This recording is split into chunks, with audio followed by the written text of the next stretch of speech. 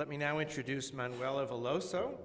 Um, she's the Herbert A. Simon University professor, and she's the head of the machine learning department at Carnegie Mellon University.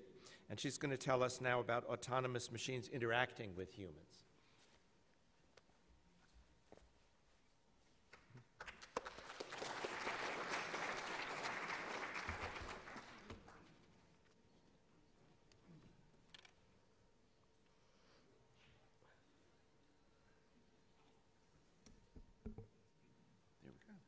Okay, so I'm going to tell you a little bit about these uh, machines, autonomous machines, and uh, their interactions with humans within the context of actually this quest for autonomy that drives AI that was mentioned before, in trying to integrate a perception problem, uh, where am I, the state of the world, with a cognition about making decisions and learning and actually deciding what's best and eventually the actual actuation.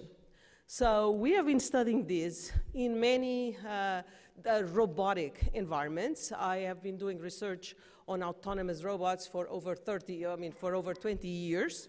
And um, these, today I'm going to focus on these specific robots, which are these um, service robots. They are uh, robots that have wheels, in some sense they to navigate, so not arms to manipulate, but basically focus more on the actual motion of the robots. And they are capable of performing tasks because they end up being a computer that has cameras and is, is on wheel, has wheels. So all the thinking eventually happens in that laptop, and the actuations are their motion, and their, uh, their perception is through cameras.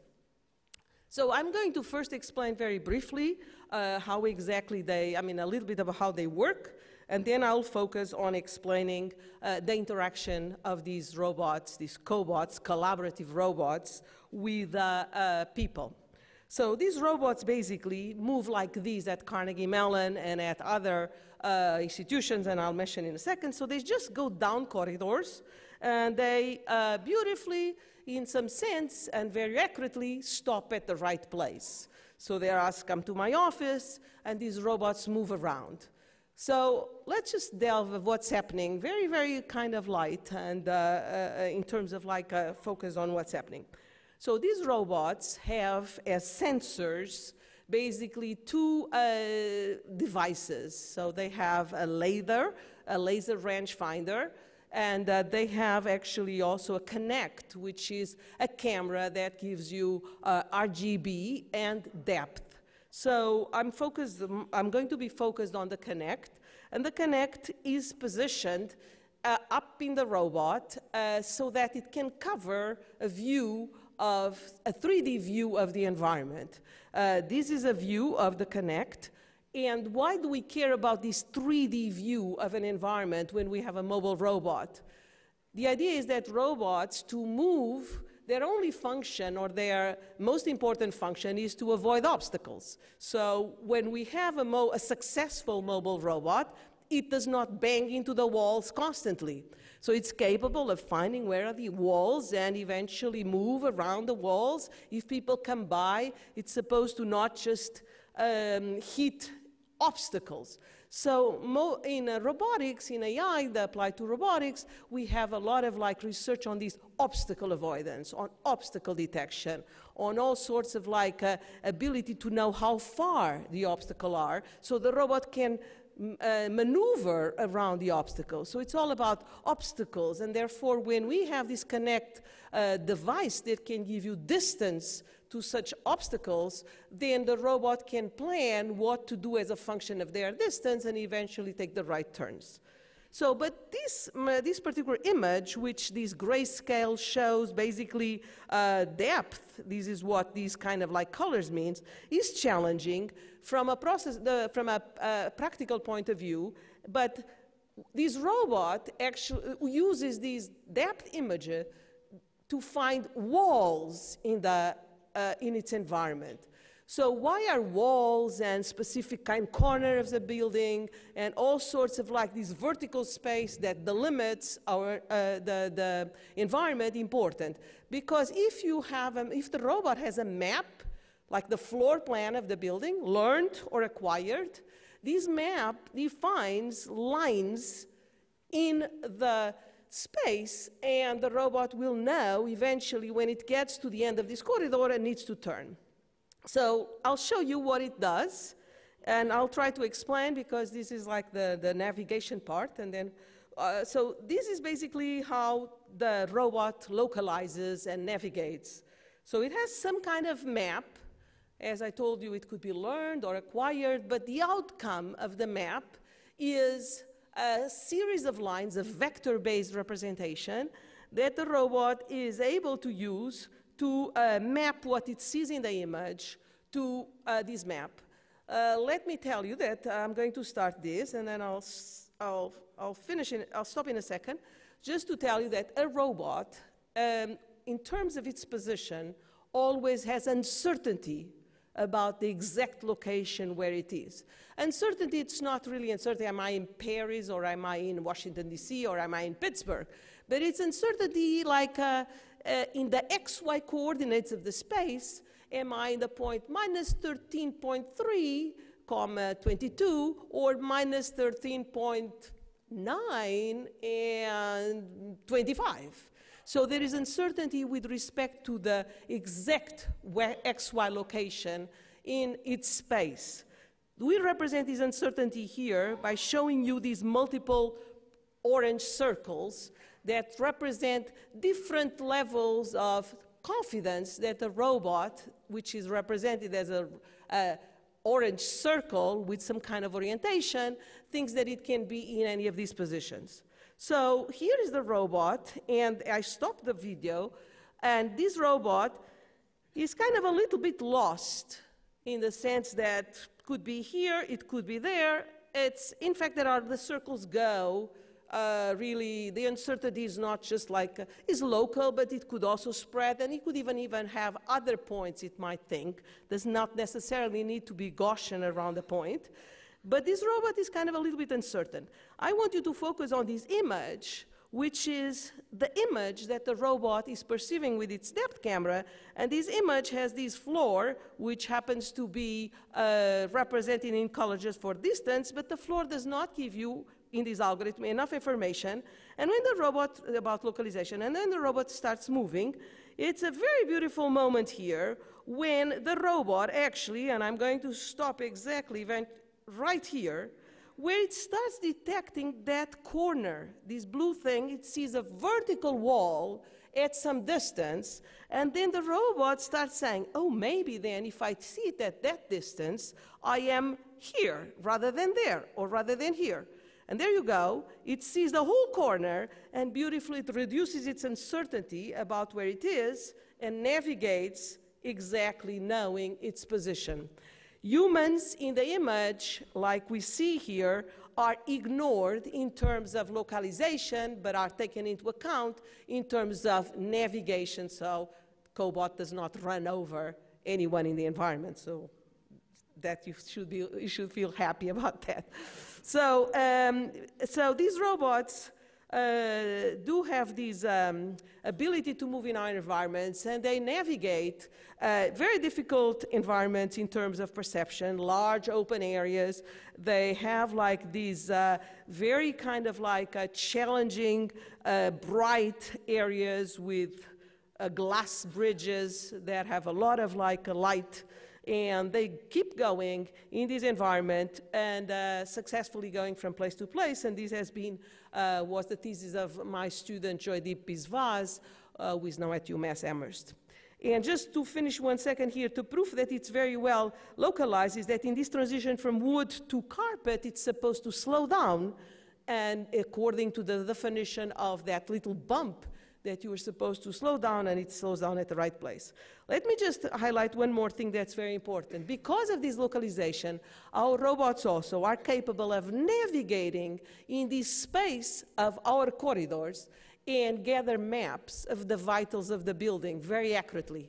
In this particular case, Richard Wang's PhD thesis, one of my students, uh, is capable of moving the robot and building maps, for example, of Wi-Fi signal strength uh, exactly in all the points of the environment, and he collected data on temperature, humidity, all sorts of other vitals. So eh, we are used to robots, thinking about robots only as service robots, but service can these robots can also be uh, data collectors, mobile data collectors on these, uh, mapping these into a very precise maps given their accurate localization. So we are also able to move in any environments. This is just the last video I'll show you of the robots moving in different environments. This is at NYU. I was on sabbatical there 2013-14, and Joydeep and the robots and my students came, and here it is the robot in a completely different environment. We got the floor plan, the architectural plans of the building, uh, this CUSP uh, center at NYU, and wonderfully, the robot navigated there during the whole summer, and after a couple of days, it was moving everywhere, precisely going to all the office space uh, points in the building. So, just to tell you, to, to, to mention this, I think it's quite, uh, how do you say, compelling that these robots move at Carnegie Mellon. Uh, they move daily. Uh, any visitor that comes to come my office is escorted by Cobot. Cobot meets you at the elevator, and uh, you just say, follow the robot, and Cobot just takes you to my office. And several of you have experienced this already. If not, please come to Carnegie Mellon, and I'll be happy to have the robot escort you to my office. And uh, they have moved for more than 1,000 kilometers, uh, probably now close to 1,300, 1,400. I have to update this number. And they move in all these nine floors of the building, any different buildings. Okay, so the rest of the talk, uh, which is exactly half, I'm just going to focus on the another aspect. Now that they move, now that they can reliably perform tasks, you can ask me, but um, they have limitations. So you, as you notice, they do not have arms. They cannot pick up objects. They cannot put objects. They cannot uh, carry objects. They cannot press elevator buttons they actually cannot open all the doors of the world. So there is this kind of like um, uh, assessment or that these robots, after all, even if I would put an arm on these robots, even if we do a lot of deep learning and maybe 10 years from now they will be able to do to know much more but they have limitations and when i think a little bit more from a philosophical point of view I actually dare to say that they might always have limitations in the same way that humans individually also have limitations. I speak with an accent, but I do play squash, and I do play, I do uh, speak five languages, and I have all other skills, but I have limitations. I cannot reach that tall. So what I'm saying is that I realized early on that maybe these AI machines will always have limitations, and one day I said, okay, it's okay for a robot to have limitations, at least for now. So, or for always. So we actually devised a new way of thinking about autonomy in robots, in which robots ask for help. So when they are not capable of doing something, or when they are not able to understand something, or when they are not able to find something, they don't stop. They just say, I can't do it. So at the beginning, at CMU, that glass bridge was very hard for the robot to traverse through its perception. And so the robot would stop at one end of the bridge and say, May I follow you?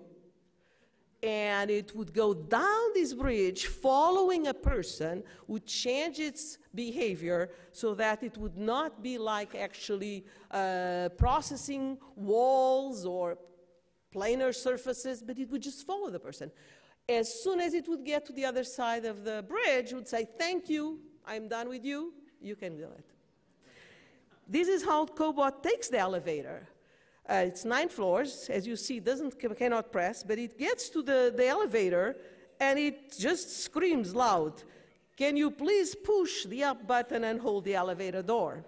And so this robot is there, incapable of actually doing this task, and, but it knows that that slice of the task can't do, asks the human which elevator, and this is Stephanie Rosenthal's uh, PhD work, which of these elevators, and Stephanie says the right one, holds the door, the robot gets into elevator by itself, which is great, is inside of the elevator and also says, Well, can you please press 8 and tell me when we get there? When the human generously says, You are there, the robot leaves. So, this is fundamental now and it has been shaping a lot of my research, this concept that AI machines have limitations. And some of you might ask, instead of waiting for the end of the, the, the, the talk, you can ask, what if people don't help the robot? What if people tell the robot is on eight and is on fourth floor? What if people don't like this robot to ask questions, right? So these are all legal questions. If nobody really helps the robot, the robot actually sends us email you know, I've been here waiting for a while and nobody helped me. Can you please come and help me? So there is this concept of full autonomy. In fact, you can block Cobot by standing in front of it, but there is nothing wrong. It doesn't do anything. It just says, please excuse me, please excuse me. It does not let you go. It's me email. I've been here three minutes waiting. I cannot move. Come and rescue me. And there's an, an interesting thing. So it sends to all of us in the group, and sometimes I'm teaching a class and I get an email from Cobot somewhere. But my students, eventually someone, we go there. So there is this thing about, how do you say, completing its own limitations or complementing by asking for help and then we can let it go. So it also has a very, uh, very nice ability to, to, to process spoken language. Bring, please, a coffee. So I don't know where is a coffee in the building. returns high probability for object copy and location office and also for object copy and location kitchen. Which location you think is best? Kitchen. I will collect the object copy and deliver it at the lab, room 7412. Is that correct? Yes. Very nice. So what happens is like this, now the robot is done. I did not know where coffee was. I thought the lab was 7412. The human generously said, yes, 7412 is right. The web generally said, generously said, okay, there is high probability that it's in the kitchen. So now I want to ask you like this. How is this robot going to get coffee in the kitchen? How is it? Ask for help. There you go. You are all great researchers. So, and let's see what it does, right? It's here. Hello. There's Mehdi Samadi who did all the web analysis, and there you go. Thank you, I'm done, and there I'm going. But this is not a video that I make for you. This happens all the time. Notice how beautiful this robot has a basket. It does not have arms but has a basket. A basket is almost as good as arms. Don't tell this to my manipulator co colleagues, because the basket enables this robot to take things from place to place. So this is it. Now, what's interesting about these, the first kind of like a cognitive aspect of these robots is that they actually learn.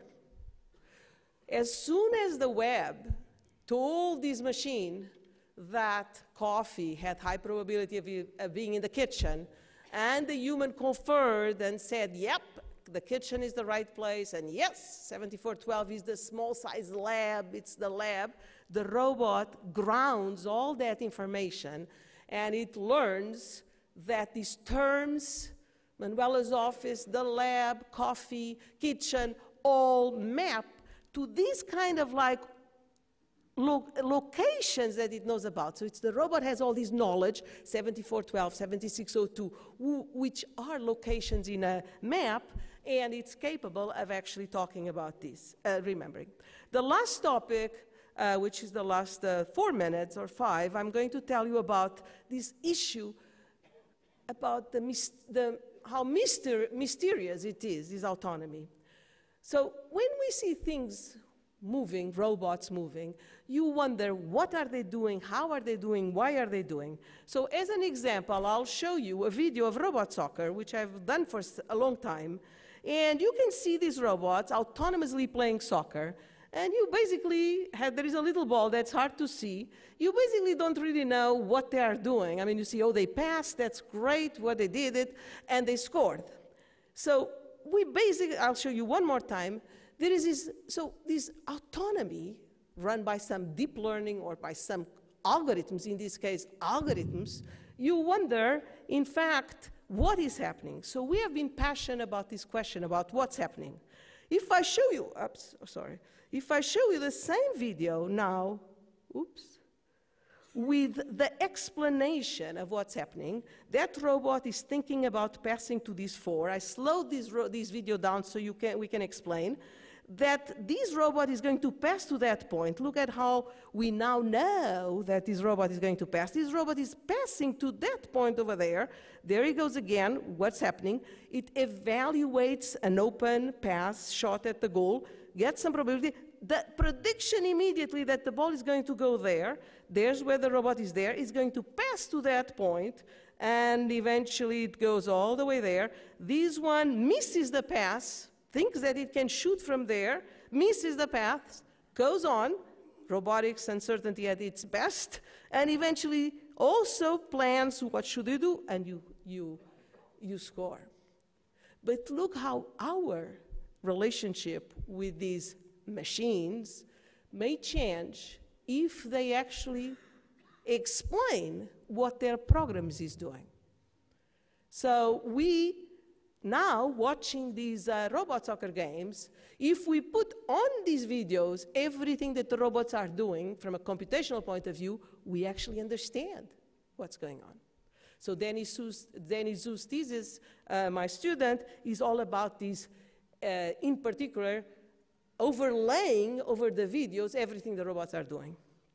But just for the cobot, I'm going to tell you that this arrival of the cobot to my office is of great disturbance because it arrives to my office and I don't know where it's coming from, and I wish I would, uh, could ask, what are you going to do next? Where do you come from? Why are you late?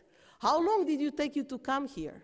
So this thing is so autonomous and now it became a research question how do we answer these questions? How can we set these questions to the robot without having to program and find out from the logs what happened in language? How do we go about finding this out?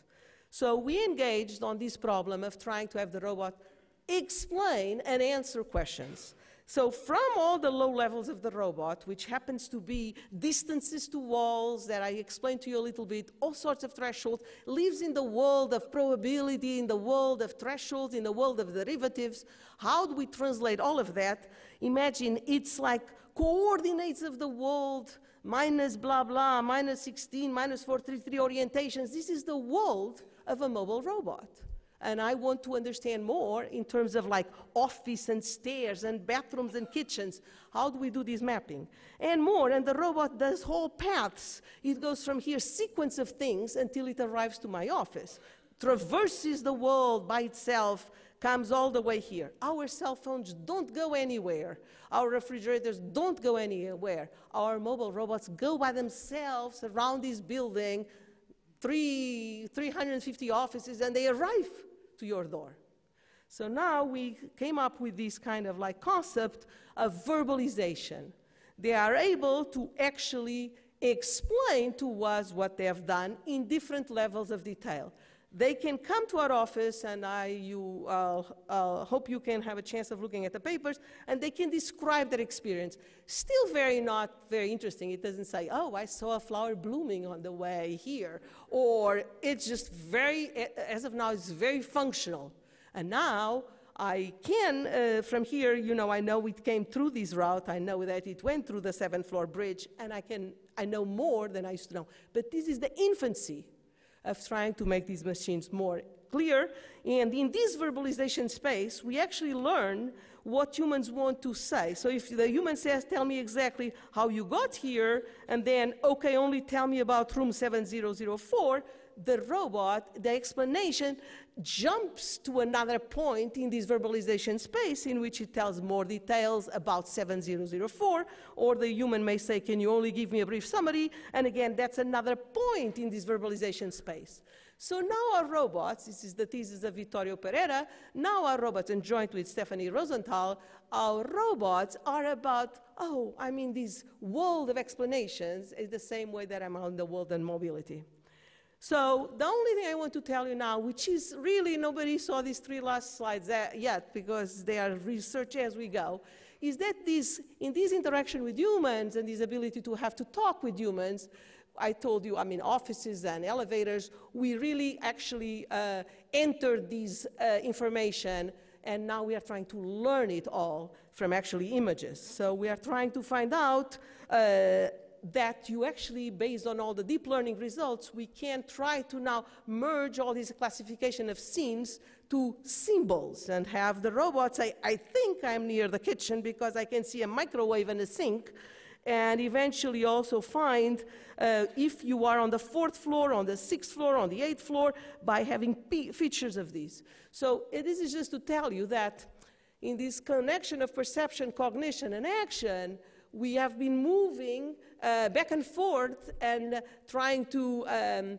uh, as much as possible, making the robot function all together and filling in when something comes that can be actually compelling from a learning point of view and general, generalizable uh, from a learning point of view. And just so, the last thing is that I got these videos from my student Cheng Wei Tzu, uh, last night, and I want to share them with you because they are re- it's remarkable. Don't put your expectations very high, but I'm going to explain to you what this is. The problem is that, the, our, so let me just stop this. Our cobot, you know, is very good at bringing me something to my office, ignores all the people that they find on the way. Well, it doesn't run over them, but so that doesn't I mean, doesn't ignore at that level. But if someone comes and says, hi, cobot, da, da, da, da, da, nothing. Or if someone comes towards it, nothing. So this kind of robot does not go to people, does not uh, understand this concept of seeing someone moving, slowing down, and wanting to intercept that person or stopping.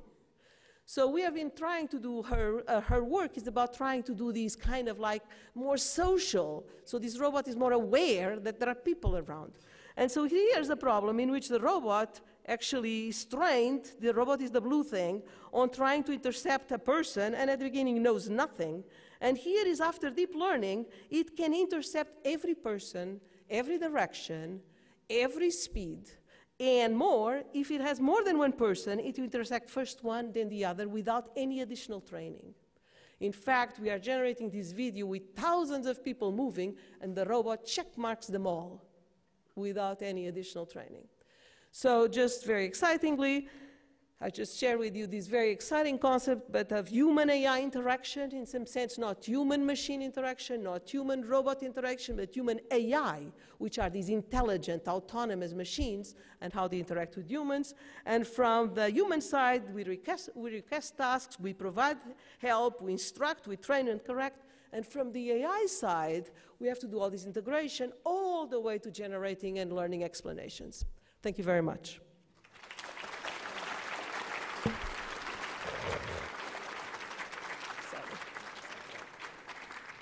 Great. I think we'll have time for one or two questions here. Anybody want to go to a microphone? Yes. Can your trained rabbit r- uh, robots imme- immediately train another robot and transfer the information instantly? So, It's a very good question. Indeed, we have four cobots, and uh, they all share what they have learned. So if you ask cobot 2, uh, go to the kitchen, then cobot 1, 2, 3, and 4 all know, and also the cobots or the robots that are at different places in the world might also know. So we share these all among them. Yep. Is there one more question? No? Then let's uh, thank Manuel again. Thank you. Thank you. Very interesting.